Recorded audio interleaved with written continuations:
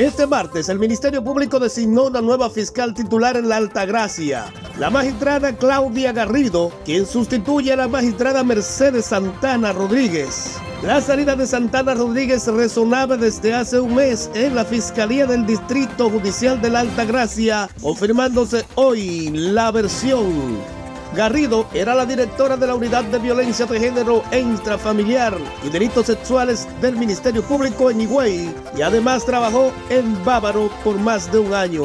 Se espera cambio en los diferentes departamentos de la Fiscalía a nivel provincial. Mientras tanto, la magistrada Mercedes Santana hablará con la prensa y revelará grandes primicias en el día de hoy. Para el Centro de Noticias del Este de Televisión del Este les informó Juan Bautista Guerrero.